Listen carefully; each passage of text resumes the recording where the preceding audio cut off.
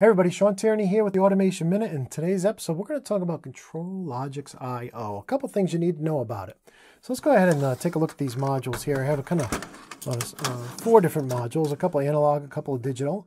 And uh, the first thing you need to know about ControlLogix I/O modules is they're very smart, right? So you're not going to find any dip switches or um, jumpers on these modules like you would with 1771 or 1746. These modules are smart. They're, they're configuration is stored in the processor. So when you pull a module out, put a new module in, the processor will write down all its configuration. That's really cool. The second thing you need to know about uh, ControlLogix I.O. is they don't come with terminal blocks, right? So you get to choose, do you want spring clamp or do you want screw terminal? Um, but whatever you choose, they don't come with it. You have to buy them separately.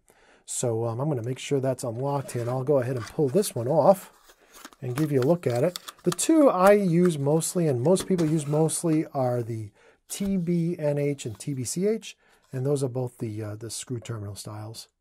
Um, if you like spring clamp, you'll use the spring clamp versions.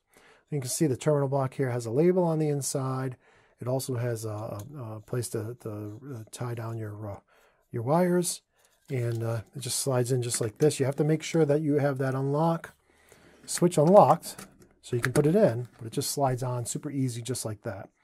Um, and those are really some of the most important things you need to know about these modules.